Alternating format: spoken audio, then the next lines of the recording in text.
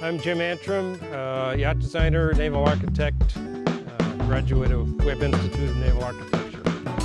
It's exciting to work on a Cal 40. I remember as a, you know, early teens, my dad taking me over to Marblehead to see one of the first Cal 40s, the revolutionary new ultralight. So uh, it's got a lot of history behind that boat.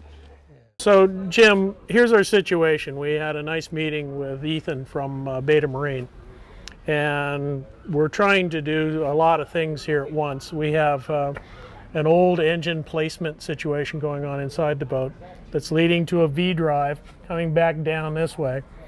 We have a couple of problems with that. There are some known structural problems with the fiberglass in here. Uh-huh. We have a bronze shaft log which has a reputation for corroding inside of that fiberglass. So we're going to have to do a whole bunch of cutting in here and get that stuff out and either redo it or do something new. Our major objection here to this is that we have a V-drive system that puts all the systems of the engine aft and under the cockpit, under the Sure, quarter berth, Yeah. and we'd like to turn the engine around. So that got to be the question of where's the shaft log going to come out, and then what angle is the maximum angle down there? They were, he wasn't sure. Ethan wasn't sure about what you would recommend Yeah. as a maximum angle.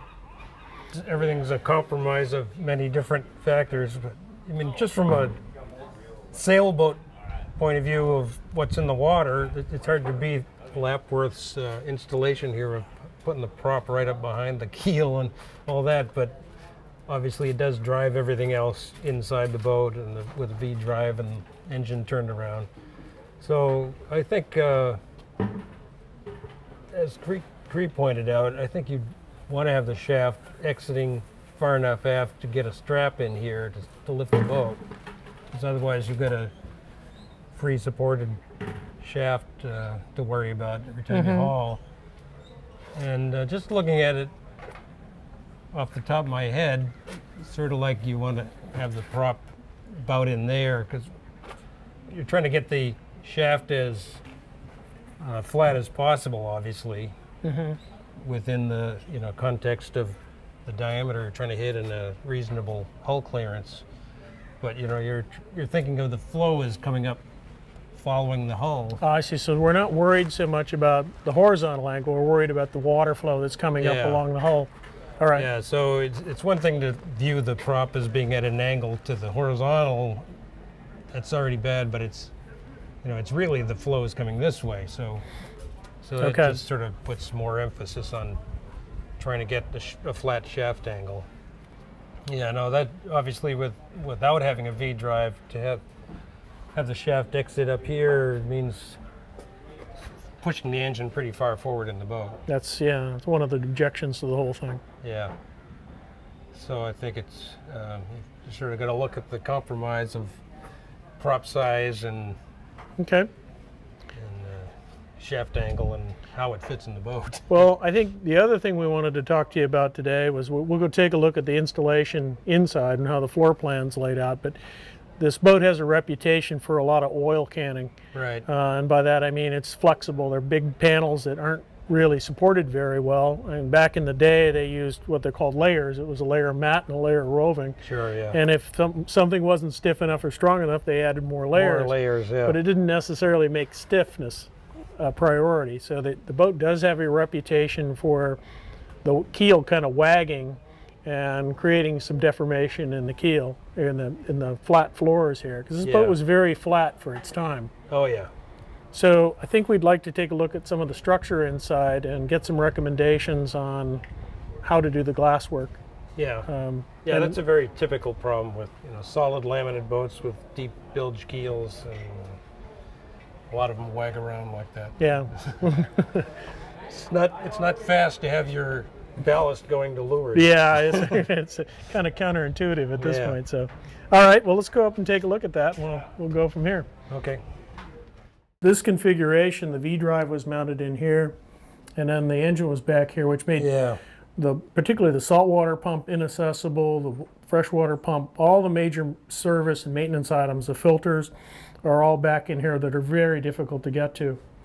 So for all those reasons alone, it makes sense to turn the engine around. But we have to figure out if we're trying to violate that angle for efficient operation of the prop.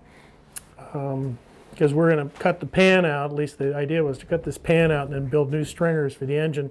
Right. Maybe have uh, the front of the engine right about here. Think you can push it that far forward?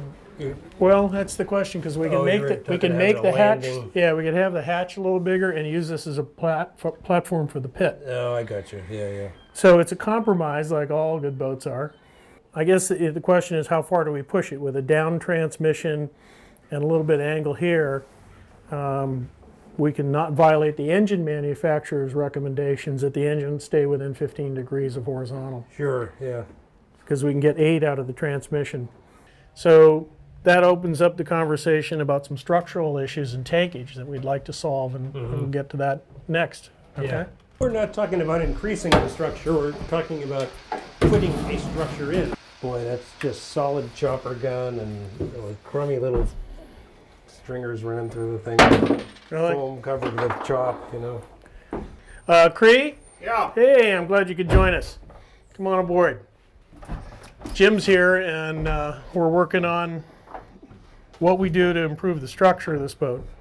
Uh, Okay. as we mentioned, this boat was built in a time where they're still trying to understand fiberglass. right. And I think it's the laminates are plenty strong. They just tend to flex a lot. So we have a dropped-in piece of lead down on the bottom of this boat, a deep keel, and we have basically flat laminated panels without any bulkheads or coring or anything else down here. And this boat has a reputation for the keel kind of wagging. Right. And the other part of it is I've heard the- complaint that these these panels are oil canning. You know, they're just Yeah, they're going big. up and down. And what I'd like to have Jim do is give us some recommendations on what to do in laminate structures and improvements. And then I think the the other thing would be we need to do, as part of that we need to discuss where the tanks are going because we've taken we're going to take the fuel tank out from under the back there Right. and we had a big water tank in here before, which we've pulled out. And I think we'll end up with the water tank forward under the V-berth, which is kind of a conventional way of doing it, when we need it. And we'll have perhaps a fuel tank, port and starboard, and we also have the problem of holding tank, which is part of the Coast Guard regulations now. Yeah. Um, So you can see how much space we have here. You can walk down into this thing Yeah. And it, uh, the idea being that somewhere in this assemblage here, we want drainage under all that, yeah. but we'd probably want one house battery being a D8, and then maybe a starter battery back by the engine itself. And maybe there's some room here to put a fuel tank in. And keep all the kind of fixed, all the major weight in the boat centered above the keel Yeah. and in the center of the boat. Yeah. And that might give us the best, deepest um, place for a fuel tank. And then it opens up all this to doing the structural work without worrying about getting tanks in, because we could have um, lateral bulkheads out. Um, I do want to have a bilge, as we discussed, that's a But not dedicated, that deep. not that deep. I want to be Yeah. able to get in here and, and wipe it down. So like, if I were laying on the floor and had to wipe it out, that's as deep as I want this. Yeah. bilge. Right. Right.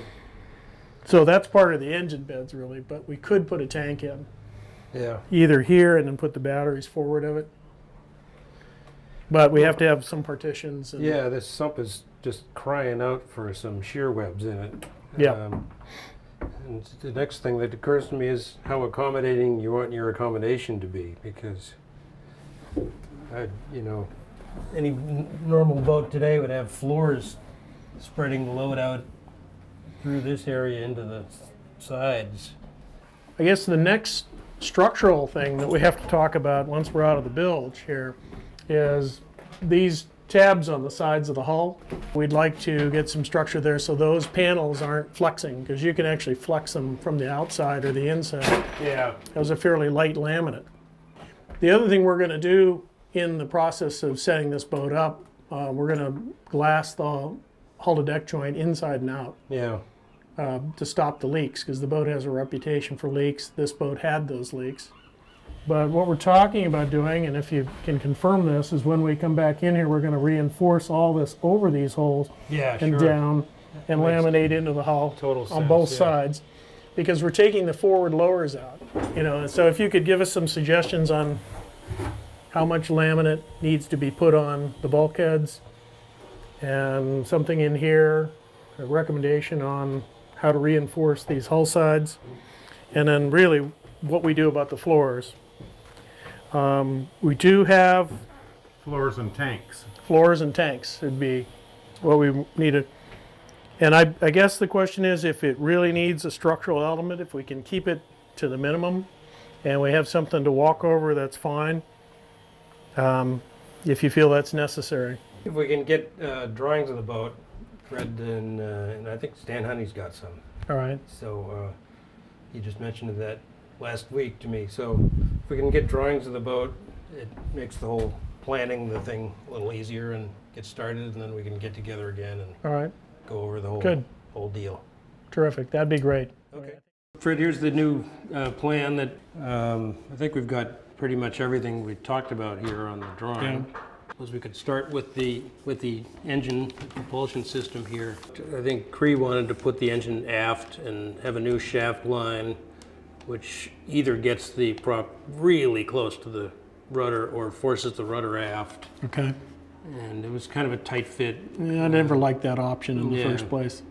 It uh, Um, kind of pushes the rudder back, which is not what every other class boat has. Right. Plus, you get you know that now you're adding the drag of a strut and the shaft and all that Yeah. stuff. To where this is a pretty cool installation, the original shaft Right. coming out of the back of the keel. And then you know when I took the CAD drawing of the engine and put it in where we had talked about having on a straight uh, line drive, the engine ends up just too far forward and uh, you know blocks off the galley and access to the main part of the boat. So we ended up going back to Yeah. V drive Okay. as the original. One of my big concerns with this is that the boats have a real reputation for being flexible flyers, so to speak. Yeah, right, Uh, right. It's uh, there's uh, some oil canning issues and the thing called keel wag, where the keel Right. isn't really tied to anything but flexible panels. Yeah. And that's what I'd really like to do something about to stiffen the boat up a little bit. So, Yeah, what do you think we should do there? Well, the keel wag thing, that's, it's a pretty common symptom, not only on this boat, but lots of boats that have sumps, fiberglass sumps form the top of the keel, and often they just don't put enough structure in there to keep it from wagging around, which, which means when you're sailing to weather, your lead's hanging to leeward. Right. Not the most efficient thing to do. Plus, it it fatigues the bilges here. Right. Um, Anyway, we've decided to put these transverse webs in here. There's three of them. They're Okay. Molded uh, off, off the boat and then trimmed and fit to place. And um, so we've got them spaced right above the lead All right. and uh, room in between for a diesel tank and a house battery and, you know, All right. shower sump. And a small sump front. forward to catch all that water. Yeah. And then, And what about the oil canning? The oil canning was so bad that it broke the tabs out of the bottom of the bulkheads. Right, yeah. You know, it's, it's getting to be an old boat. You know, the bilges have softened up over the years with lots of sailing and miles over the single skin laminate. So the the first obvious thing to do is make this panel a lot smaller by adding a longitudinal stringer directly underneath the seat back. And that's where the, the drawer faces are. Yeah, exactly. right So under the- essentially we use the the drawer faces and tie them to the bottom of the boat. All right.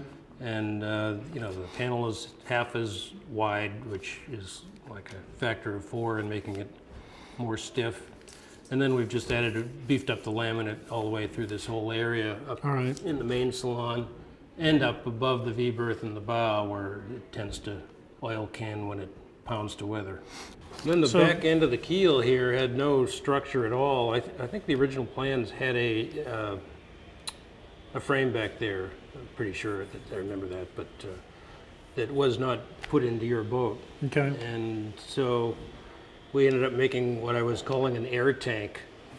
But really, the idea is just to put a stiffener diagonally through here to break up that big panel because there's Okay. a lot of water pressure down there in the Right. keel. And um, Lapworth had a, had a transverse member in there, but this will be mu- much more effective and keep stuff from falling down into the bilge and, uh, Yeah, and it's, a- and it's at a depth that you can actually get in here and wipe it out and keep Right. it clean. we've got a little pump out tube built in, an Okay. inspection port.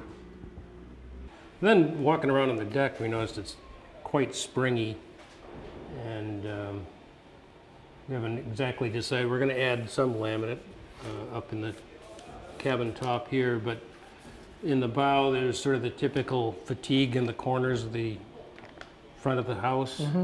And, uh, you know, we've, obviously, rig tension tends to bend the bow up, and that's what the cause of that is. So we've added a tran- new transverse deck beam that ties into the old ones, and I ran it back at an angle so it supports right under the corner of that house. Okay, And, you know, a nice little knee, um, which shows here. right, nice little angled knee Yeah, to keep, radius. you know, and keep the headroom clear and not interfere with the accommodation up in And the it, bow. it ties it in close to where that shelf is, which Right, is good. exactly. We have a lot of enthusiastic people talking about this project Yeah. and, you know, there's a, I wanted to make sure that we had an engineering plan, um, which made sense and did, and actually accomplished what everybody Yeah. wants to accomplish with this boat. I- think that was necessary. This is a 50-year-old boat that uh, has seen a lot of sailing. Yeah, that's true. These, these, all these boats from that era were the early days of fiberglass are all single skin and it's just a lot more flexible than uh, we're doing boats now. So with the flex over all these years, the, you know, there's fatigue and the, everything gets a little softer than it was in the first place. So and I, I think it's nice that So- we've managed to, you know, keep the Cal 40 as a Cal 40 and just basically make it a little stiffer and bring it back to Yeah, the way it was intended to be in the beginning. it's great. You know, recover its sailing abilities and um, you know, extend its life. It's good.